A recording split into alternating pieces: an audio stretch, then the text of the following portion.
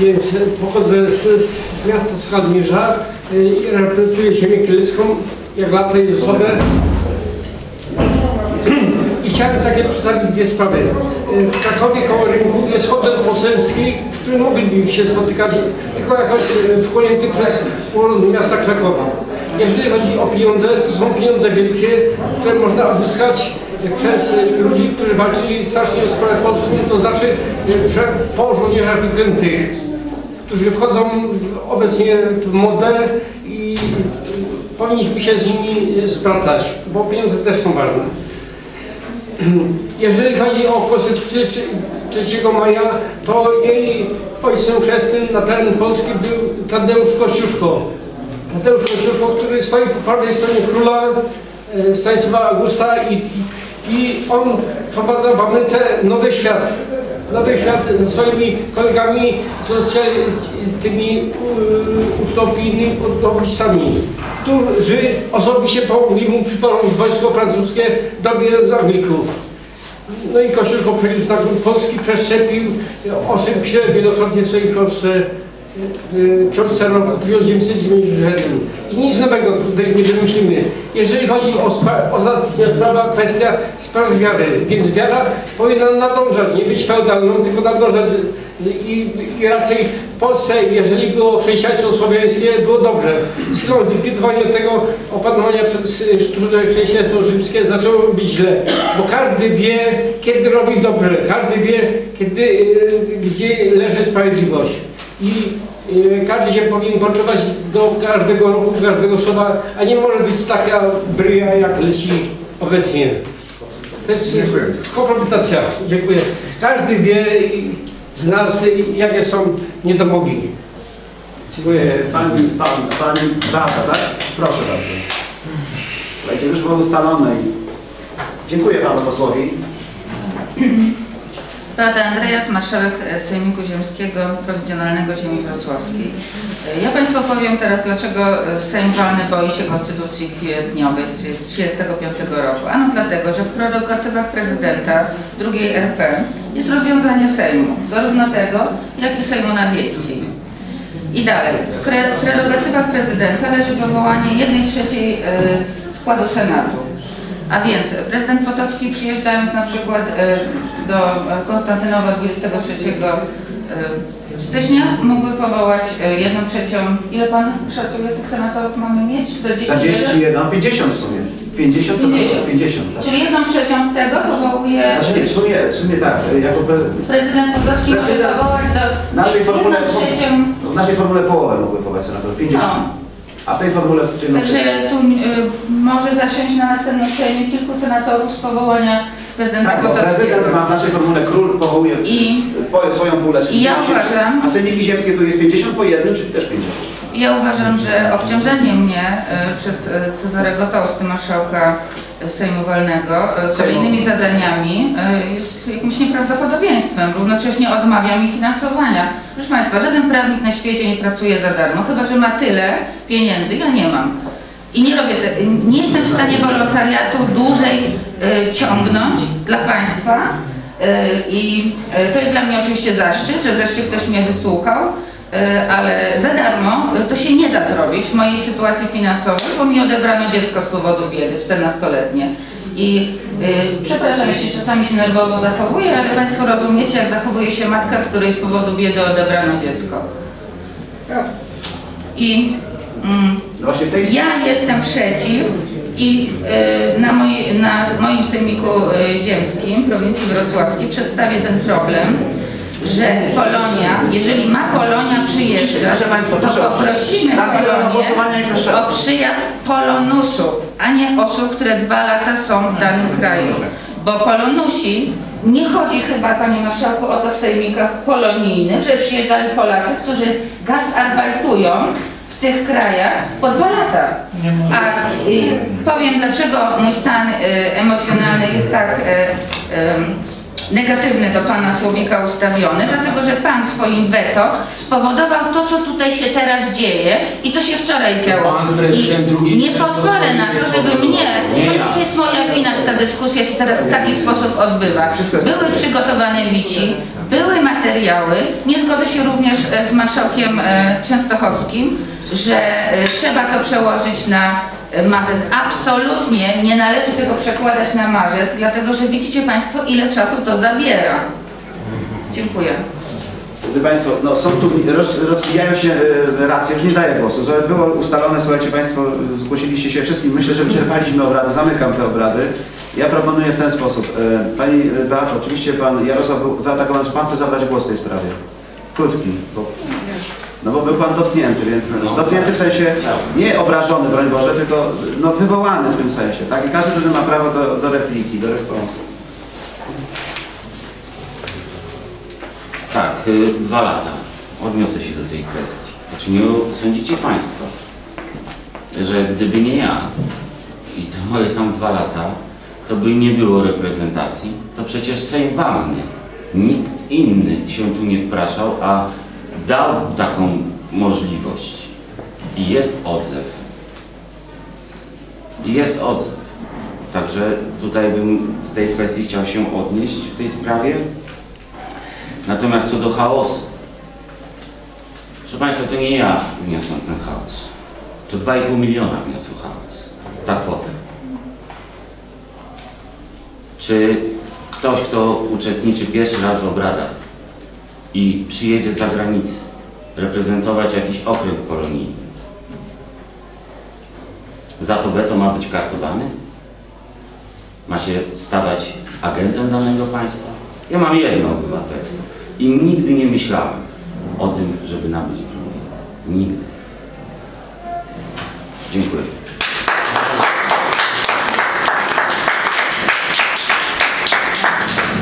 Pani Beato, Pani Beato, ale to za chwileczkę, za chwileczkę. Pani Beato, jeszcze tylko ostatnie moje zdanie, żeby Panią też, e, my Panią bardzo szanujemy. Ja poproszę, żeby Państwo wszyscy szanowali to, co się Pani powiedziała na końcu o tym dzieci. Właśnie dzisiaj miało być głosowanie, że jako Sejm Pani zgadzamy się z taką praktyką. I cofniemy to, co Pani zrobiono. Gwarantuję Pani, że jako Sejm ale to cofniemy i od, od, odzyska Pani dziecko. I jeszcze jedno, e, Pani nie będzie płaciła za te wpisowe. Publicznie to mówię. Dopóki nie stanie Pani na nogach, nie ma Pani obowiązku. Czy miała Pani z tym jakiś problem? Nie, ma takiego problemu. Nie istnieje, jeżeli ktoś oświadcza, że nie stać go, y, na razie tylko nie wpłaci wpisowego, a w przyszłości może zrefundujemy mu koszty dojazdu. Tak? Jako fundacja mówię teraz, bo my wcześniej czy później też jako fundacja będziemy mieć swoje środki większe. Nie ma problemu żadnego. Więc Pani przyjedzie i my Pani tutaj obiad, hotel, wszystko zapewnimy. Tak, żeby nie musimy od razu żądać 2,5 miliona, żeby, żeby poseł był samodzielny. A to wbrew pozorom jest taka wolność na uwięzi, więc y, ostrożnie z tymi pieniędzmi tutaj wielu miał. Ale dlatego, ponieważ nie chciałbym narzucać sposobu głosowania. Znaczy, jak głosować, ale powoli kończmy tą część i w tej chwili rozbiję to głosowanie, to weto, bo to weto składało się z dwóch elementów. Pierwszy element tego weta to było weto przeciwko pieniądzom, a drugi e, element to był weto, bo jednocześnie był drugi wątek, którą panią Beatę, marszałek ziemi wrocławskiej Beatę Andreas zabolał. Być, być może słusznie, ja uważam, że słusznie, weto przeciwko debatowaniu na temat losów drugiej RP i jak my się do tego odnosimy, prawda?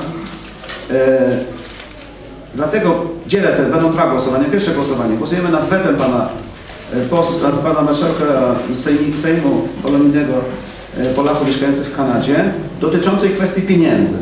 Czy jest słuszne, czy jest niesłuszne weto. Żeby go obalić, musimy mieć zdecydowaną większość. Tak? Czyli jeżeli ktoś, teraz musimy się zdefiniować, że się Państwo ogarnęli. A drugie głosowanie będzie, czy jest słuszne, czy niesłuszne odrzucenie tej opcji debatowania na temat e, e, limity związanej, znaczy tu, tu to jest dosyć skomplikowane. I trzecie jeszcze, marszałku, to jest znowu merytoryczny błąd. Chodzi o limitę. o limitę. dobrze. A nie o pieniądze. Dobrze, jeżeli Pani tak stawia sprawę, to ja chciałem głosować, nie ma zgody. No ja Dobrze, nie ma zgody, dobrze. Bo ja chciałem i tak się zapytać, czy jest zgoda, Pani powiedziała, że nie ma zgody. Dobrze, czyli byłoby to weto, jakby to weto. Dobrze. Czyli czy inaczej w takim razie formułuję pytanie. Czy jest zgoda, znaczy o, ustosunkujemy się do weta, które wetowało limitę Sejmu. Czy tak będzie dobrze? Proszę Państwa, i teraz tak, kto chce, musimy ustalić teraz, bo to jest bardzo ważne, bo to jest bardzo ważna kartka teraz. Kto chce to weto obalić, to musimy teraz przyjąć kolor kartki. Czyli zielony to jest za podtrzymaniem weta, zielone jest za podtrzymaniem weta, a czerwone jest za obaleniem weta. Żółte jest za neutralnością. Nie mam zdania w tej sprawie. Jeszcze raz mówię. Zielone, zielona kartka, żebyście teraz Państwo zastanowili się, czyli zi- Ziemia głosuje za e, za podtrzymaniem weta, czyli za uratowaniem tego, że weto staje się skuteczne. Rozumiecie? A czerwona opala to weto, że ono było niesłuszne to weto. Czy ja dobrze się wyja- wyjaśniłem, czy jeszcze Państwo nie słyszą mi W związku z tym przystępujemy do głosowania. Głosujemy w tej sprawie. No i cóż, e, Panie e, Przewodniczący Komisji Składacyjnej, proszę o pomoże, pomoc w liczeniu głosów. Jeszcze raz mówię. Raz, 28. Pani Aha, czerwono. 7, 8, 9, Trzy, już, już rozumiem. 3 czerwona. 21. 12 wstrzymała. 44. 4 czerwone. Więc proszę dobrze zapisać, bo musi Pan zapisywać. Czerwone. Czerwono. 14. Nie, 40. 4 czerwone. Jeszcze raz. 41. Żebyśmy nie pomylili, drodzy Państwo, błędu. Czerwona. 8, 2. 23. Tak. 15, jeszcze 15, jeszcze musimy. Proszę Państwa, jeszcze raz powtórzę taką troszkę reasumpcję, teraz podniesiemy kartkę. Na, trzy- na, trzy- na trzy razy, ja przeliczę jeszcze. Najpierw, najpierw zielone podnieście Państwo kartki. Ale to będzie źle, bo to też może te dwa. Nie, musicie tak podnieść jeszcze raz wysoko. Ja sobie teraz policzę. Proszę powtórzyć jeszcze raz. Jeszcze raz, kto jest, kto jest za, za podtrzymaniem, że weto było słuszne, że weto było słuszne, to zielona kartka. Jeżeli ktoś chce to weto odrzucić, to było niesłuszne, to czerwona. Raz, dwa, trzy, cztery,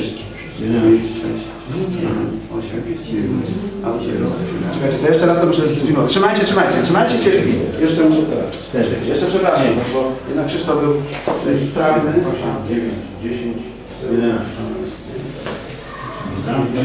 To jest taka troszkę reasumpcja w tej chwili. Reasumpcja, bo ja nie 4 czerwone. 15 tam panie. No tak, 33 też było, też było za.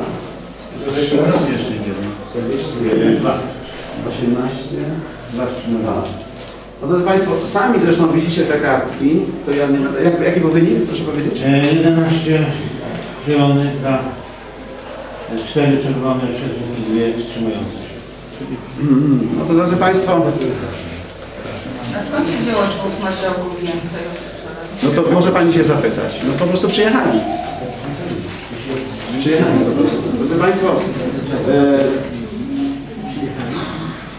nie wiem czy z przykrością, czy z radością, to, to trudno powiedzieć, bo nie odnoszę się do tego. Ja uważam, że e, ja szanuję Wasze głosy i e, podtrzymaliście to weto i ono w tym razie po prostu zdecydowaną większością uskuteczniło e, po prostu, że nie, nie zbierzemy się w styczniu w takim razie. Jest to taka wiadomość.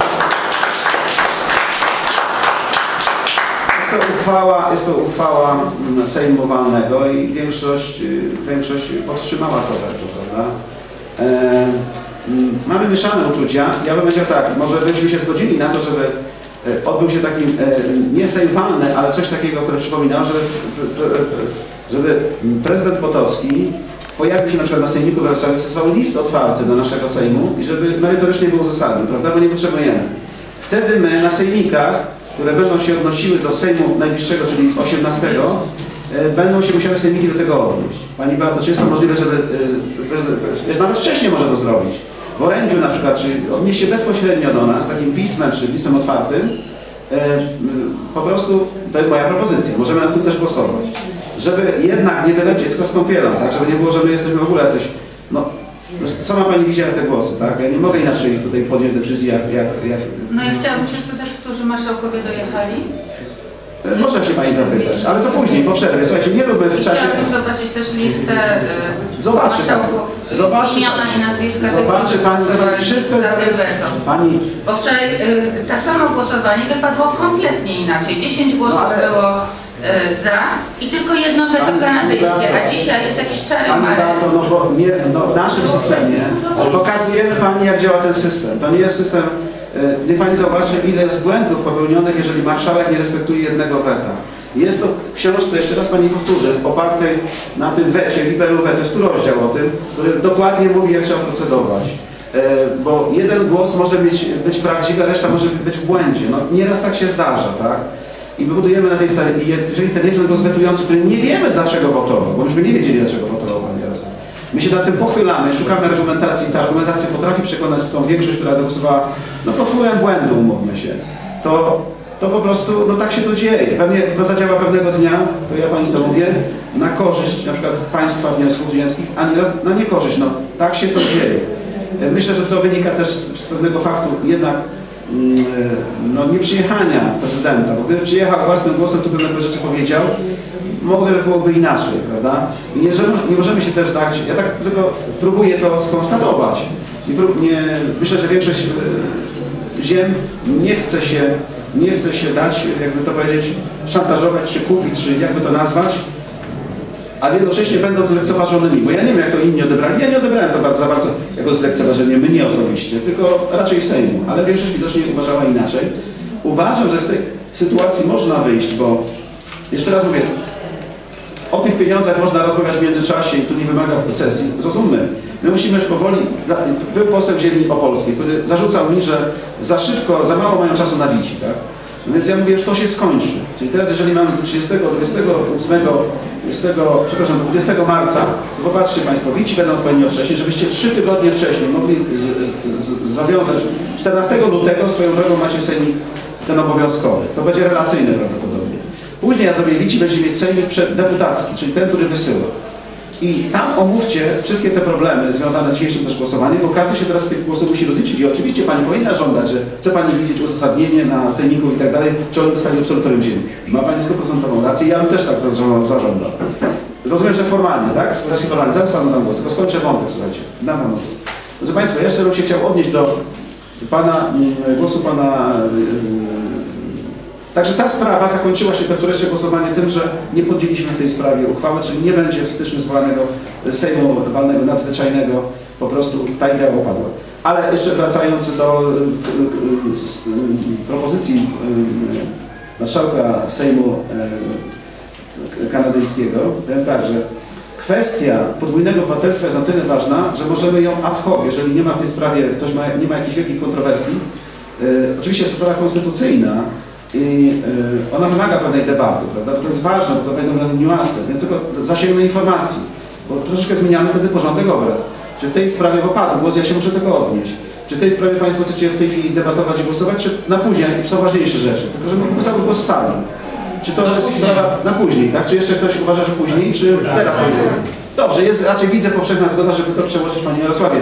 Mimo, że Kanada, no ale tutaj sprawy krajowe. I jeszcze jedno, Pan jest dwa lata w Kanadzie, to o niczym nie świadczy Pani Beato, bo z jednej strony byłby zarzut, że już za długo jest w Kanadzie, więc już stracił świadomość po, tutaj na krajowca, a z drugiej strony, także to nie niczym świadczy, bo musi uzyskiwać każdorazowo, on pewnego dnia nie przyjedzie, on jest marszałkiem. Wyślą deputację polonusów i tak będzie. To jest marszałek, to jest taki menedżer, ale jeżeli Polonia powie, nie, nie jedź, my pojedziemy w pięciu, no to pojedziemy w pięciu, bez marszałka załóżmy, prawda? E, To jest kwestia ziemi, także tutaj ja nie widzę żadnego problemu, żeby dobry menadżer, organizator, no powiedzmy nawet wprost, polityk, organizował życie sejmikowe, nawet będąc krótko w, Kanadzie, ale rzeczywiście wtedy jego reprezentacja z kolei głosu, tu Pani ma rację, głosu polonijnego, no jest wielce wątpliwa, ale jak przyjadą w pięć osób i jeden będzie marszałek, a cztery polonusów, to i tak go zawsze przegłosują, tak? Bo to jest system, że jak jest pięcioosobowa, to głosuje pięć osób. I marszałek musi, dopiero jak jest równowaga, to marszałek zabiera, za- decyduje. Ale jak większość czterech osób obok, tak jak wczoraj było z Ziemią Częstochowską, prawda? My w dwójkę przegłosowaliśmy marszałka. No on wtedy niestety, no chciałby inaczej, ale nie może. Panie Jarosław, został Pan, tak powiem, tutaj przeze mnie wywołany, więc bardzo proszę. Ale słuchajcie, czy jest teraz tak, zgoda jest, bo jest godzina 14, czy możemy zrobić przerwę, bo to jest duszne? Ale jedno słowo. Aha. Czy nie można przedłużyć do jeden dzień marcowej, marcowego Sejmu, żeby mieć czas... To jest trzydniowy już, możemy zrobić cztery dni. No to cztery spotkamy się z tym, z prezydentem i... No ale to i tak, ja- jeszcze nie ma porządku obrad. Ja proponuję cztery. Pierwszy dzień poświęcić tylko i wyłącznie, tylko i wyłącznie poświęcić kwestii, y, y, jeden punkt tylko będzie. E, prezydenta Potockiego, chyba na to byłaby zgoda, prawda? No. Jeden punkt, żaden inny. Tylko tą kwestię rozpoznajemy, tak? W innym dniach, i dopóki się nie uporamy, ten Sejm byłby Polonii, rozumiecie, ten Sejm zwany przez Polonię, czyli Polonia miałaby też udział w, w tym uznaniu No i dobrze, bo może go ja uważam, że ten trzydniowy Sejm powinien zająć się tylko tym, co dzisiaj nie skończymy, e, a w tym, co nie skończymy, jest też problem e, prezydenta Podolskiego i drugiej RP. Chyba na to byłaby zgoda, prawda? Czy jest zgoda na to, czy... Czy mogę takie? Bo, no to jest, nie ma żadnego problemu. Panie Jarosławie, czy jest jeszcze zgoda? Wnioski formalne jeszcze. Pani Jadwiga druga Pan Andrzej. I co? Wtedy ogłosimy sobie przerwę, odpoczniemy. Bardzo proszę, chyba, że jeszcze jakaś ważna uchwała za przejdzie sobie w tym czasie. Czy coś nie możemy podjąć? Bo gdzieś już Państwo będą wyjeżdżać.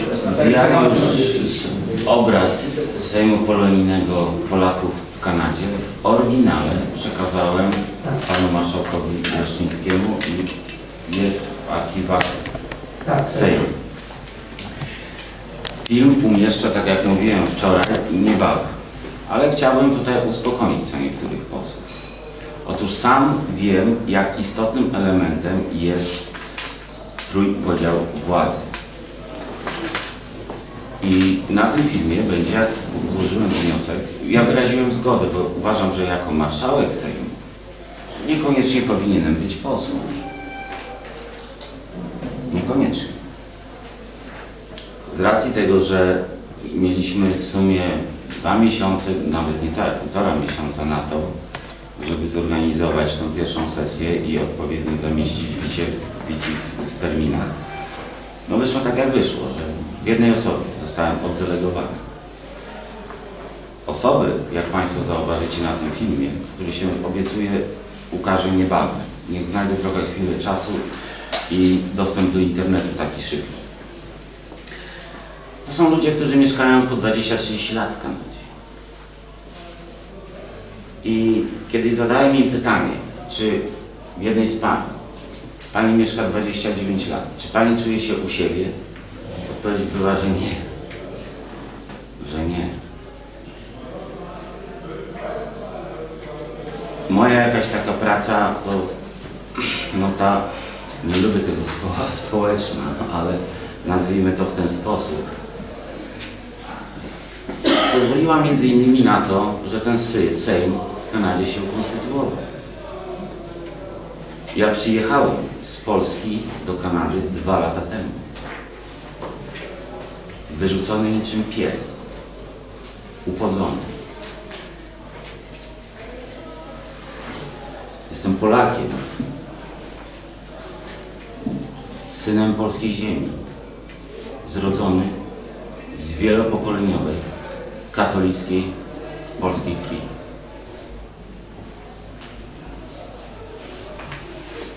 To chciałbym, żebyście Państwo wiedzieli. Dziękuję.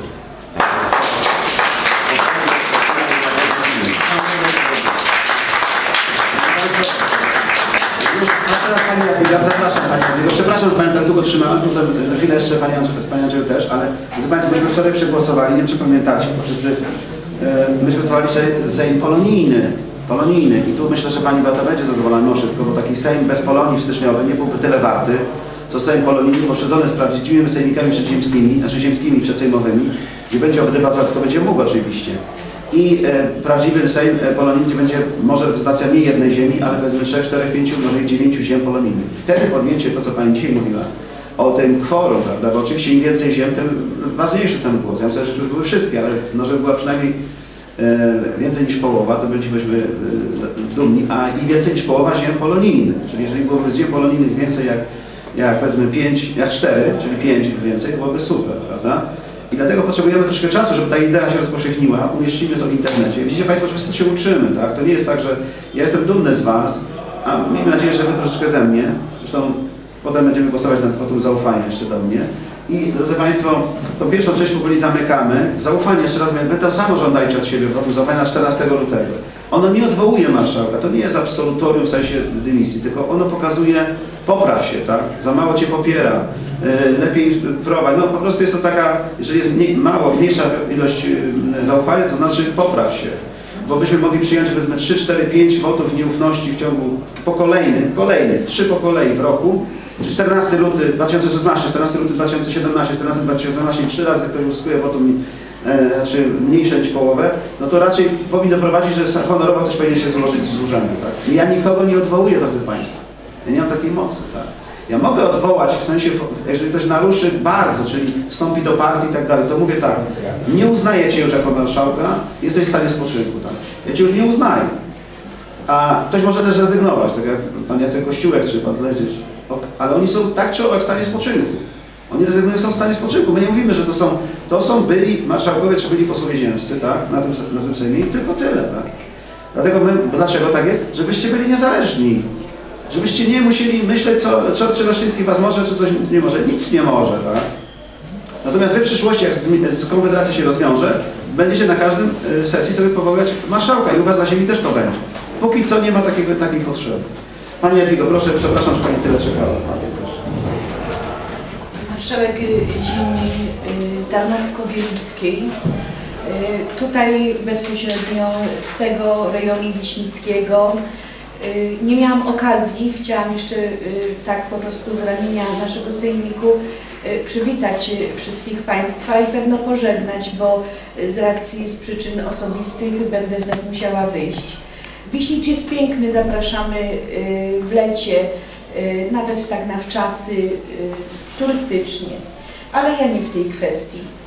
Jesteśmy jako Polacy w bardzo ciężkiej sytuacji y, politycznej, y, finansowej, jakiejkolwiek i sami sobie nie poradzimy.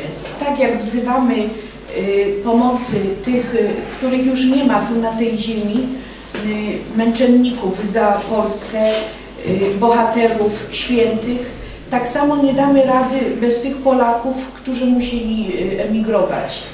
Mieliśmy tu piękny gest y, od y, Sejmu, Sejmu z Kanady. Y, Tutaj pani y, Marzena, z którą jestem w kontakcie, tak nawiasem mówiąc 23 lata jest w Kanadzie, y, przysłała nam, zorganizowała, wyszli z taką inicjatywą życzeń dla nas i to tak odbyło się bez echa, bo tutaj też zawierzyłam panu marszałkowi Słowikowi, że przedstawi to, a tak troszkę to zbagatelizował. Na pewno pani Marzena by chciała wam wszystkim, y, pisała zresztą na Facebooku do mnie, złożyć serdeczne życzenia y, Bożego Narodzenia, świąt Bożego Narodzenia. No a ja ze swojej strony i myślę, że wyrażając również y, Państwa opinię, chciałam się zrewanżować y, dla wszystkich Polaków w Kanadzie y, działających w tym sejmiku jakąś kartą, y, mimo że to już pewno będzie y, po terminie, bo Pan Marszałek Słowik y, wraca po Nowym Roku, ale myślę, że będzie to jakiś gest podania y, ręki. Y, Przygotowaliśmy tutaj z naszej ziemi tarnowsko-wielickiej kartę z życzeniami. Y, Prosiłabym, y, jeżeli ten wniosek y, po prostu będzie poparty, o dopisywanie jakieś, ponieważ karta jest mała, jeszcze dodatkowa taka kartka, to będzie taki uścisk dłoni, podpisać jaka ziemia albo jakieś słowo, cokolwiek ciepłego. Myślę, że oni są bardziej tego spragnieni, niżeli czegokolwiek innego, jakichś tam darów. Nie wiem, czy przegłosujemy, czy przez Nie, jest- aklamację y, taki Tak, wniosek jest nieformalny. wprowadzamy. Oczywiście, że tak, my się. Bardzo Pani jest puszczę Właśnie, drodzy Państwo, ja przedstawiłem, bo, bo i tutaj dotknęła jakaś tragedia, słyszałem, tak? Śmierć, To znaczy- wczoraj umarła teściowa Pani, dlatego kondolencje od, ode mnie, od marszałka od Sejmu Walnego, ale Pani jest y, mimo wszystko gospodarzem, tak? I też zawsze powinien gospodarz, tutaj uczymy, się, zawsze siedzi na początku, bo to jest, my gościmy na ziemi, której marszałkiem jest marszałek, e, marszałek Jadwiga e, Maria e, Nowak, tak? I wypadałoby, żeby ta ziemia była w awangardzie i żeby właśnie tego typu rzeczy mogła sobie tu proponować, bo jesteśmy na tej ziemi, gościmy na ziemi tarnowsko-wielickiej pod, pod laską marszałkowską pani Jadwigi. Także będziemy potem w Wielkopolsce, będziemy na Dolnym Śląsku, zawsze będziemy u jakiegoś marszałka. Mamy podzielone rejony, może pewnego dnia będzie Sejm walny w Kanadzie, no zobaczymy, prawda, za 10 lat, 15, może tak coś będzie. No różnie może być, także wtedy będziemy tam prosić, bo chcemy Polonię rzeczywiście. Także Pani zrobiła piękny gest, bo to dotyczy Polonii. Słuchajcie, bez Polonii będzie bardzo ciężko, ja myślę, że e, panu prezydentowi Potockiemu też będzie miło, że robimy to na Sejmie. Kamera się włączyła. Aha, dobra, dobrze. No ale to ja tak I jestem batu, a to, że poprosimy- przepadło, to się tego nie przejmujcie. Poprosimy tutaj pana Jarosława, żeby Tak. to, ale to jeszcze jak po prostu podpiszą się wszyscy, jakieś słowo dopiszą, to poprosimy pana za listonosza. Albo zeskanować i wysłać mailem. Chcę sobie coś więcej powiedzieć, Pani Jarku? Tutaj, proszę na ulicę. Proszę na ulicę. Jeszcze dopiszemy. A tak, zapomniałem, przepraszam. Wszyscy. Pani Andrzej, po Panu ogłoszę przerwę.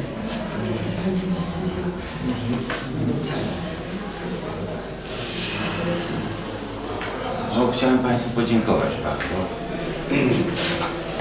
Tego wymaga zasada vivre. Natomiast też chciałem Państwu powiedzieć jedną rzecz. Wrócę do Kanady i powiem, że po raz pierwszy czułem się jak. Bardzo dziękuję.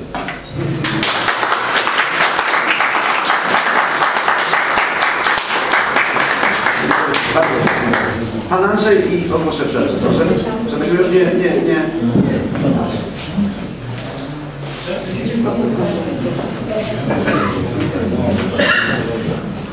Andrzej Marcin Cisza, pierwszy asesor ziemi rybnickiej.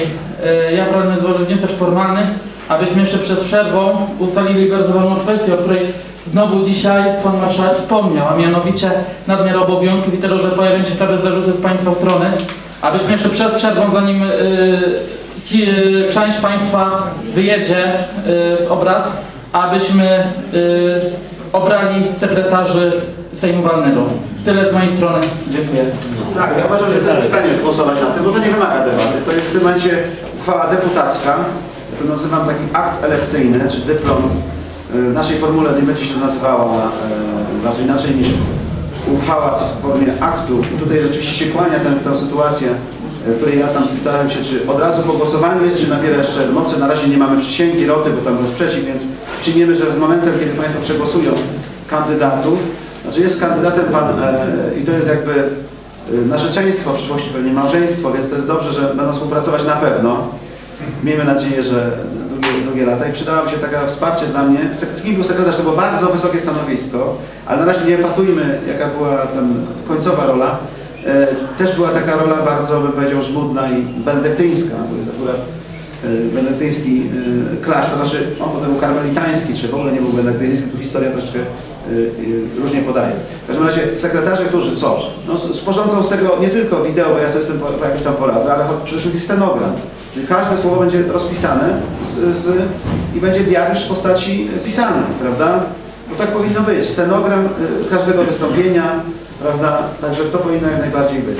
Dlatego ja uważam, że kandydatura pana, pana Andrzeja, y, zawsze zapominam drugiego imienia, Marcin. Marcina Piszczek, tak się dobrze definiuje Piszczka, tak się dobrze definiuje. Nie odmienia się. Nie odmienia się. O, to dobrze Pan widział. To dobrze w pierwszej chwili Pan Andrzej Piszczek i Pani e, Adrianny Chmiel.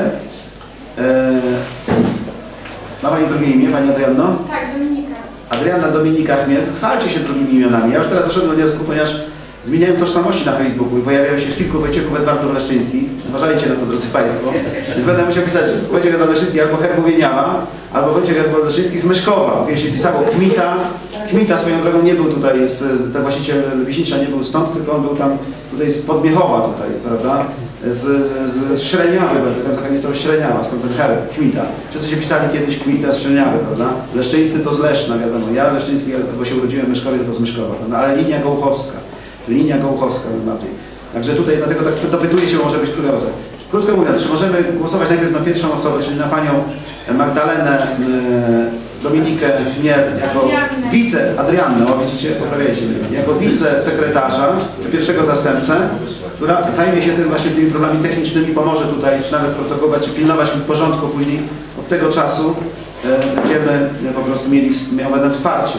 Jeżeli ktoś jest za, to zielona kartka, jeżeli ktoś jest przeciw, czerwona kartka, bo nie chcę robić tego przez aklamację, że pani ma mocny mandat, a żółta kartka wstrzymująca się. Bardzo proszę.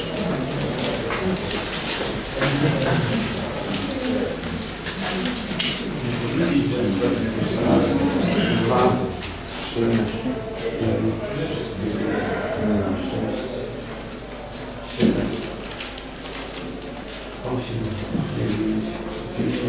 siedemnaście, jedenaście, dwanaście, trzynaście, czternaście, no czym piętnaście. Jeszcze raz, może jeszcze raz. Raz, dwa, trzy, cztery, pięć, sześć, siedem, dziesięć, dziewięć, trzynaście, 14, 15, dobrze. 15. Nawet gdybyśmy się tutaj policzyli w liczeniu, to tutaj nie ma problemu z jedną czy dwoma głosami. Czyli, czyli e, odwołujemy, drodzy Państwo, mam przyjemność ogłosić, że uchwałą wewnętrzną daliśmy aktem elekcyjnym dyplom Pani e, Adriannie Chmiel, Dominice, tak? Dobrze powiedziałem? Chmiel. E, objęła pierwszy tutaj chyba urząd, e, czy kolejny urząd e, wicesekretarza Sejmu Wolnego wicesekretarz Sejmu Walnego, albo pierwszy zastępca, bo potem może być kilku wice, to Pani będzie zawsze pierwszy. Czyli albo się ma Pani tytulaturę wicesekretarz, albo pierwszy sekretarz Sejmu Walnego. Taką tytulaturę ja Pani nadaję. Y, Bardzo proszę, żeby Pani tu przyszła, oficjalnie, żeby ktoś, żeby Pani kilka słów jeszcze, może wcześniej Pani powinna, niech Pani kilka słów powie o sobie. Ja Panią namaszczę, podając rękę i tu kilka słów proszę powiedzieć o sobie, dobrze? Żebyśmy wiedzieli. Nominuję Panią. Adrianna Dominika Chmiel. W tej chwili już nie wiem. Już jest Pani Tak, sekretarz. e, pierwszy sekretarz mm, Sejmu Walnego. Pierwszy zastępca. Zastępca sekretarza Sejmu Walnego. E, ogólnie no, kilka słów. Studentka drugiego roku prawa. Mm, Gdzie się Pani urodziła? Może zapytamy troszkę Panią. Gdzie Pani się Jestem z krwi i kości z Mazur, bo tak naprawdę urodziłam się tam, mama jest z Mazur, dziadkowie są z Mazur, więc dlatego czuję się, no tak, i też mogę wiele rzeczy powiedzieć, to co e, tam się dzieje, jakie potrzeby ma ta ziemia. Mm, przyjeżdżam tutaj, żeby coś zmienić, bo Wiem, że no, nie jest to łatwe zadanie i nie wiem, czy ja będę w stanie coś zmienić, ale na pewno jeżeli ta idea będzie kontynuowana, to zmiany zajdą. Będą to istotne zmiany, nie wiem, czy dla nas, czy dla dzieci moich, wnuków. E, no nie wiem, co jeszcze mogę powiedzieć. Dziękujemy. Super.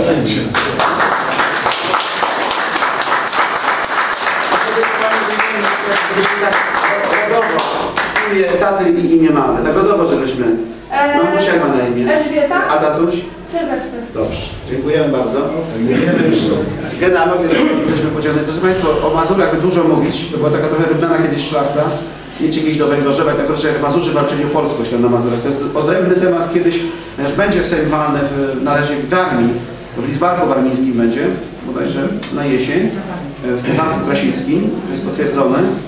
Także będzie wątek warmińsko, ale może i poruszony będzie mazurski e, też wątek. I teraz prosimy Pana jeszcze Andrzeja, żeby kilka słów powiedział o sobie, bo, e, i, i dostanie nominację ode mnie.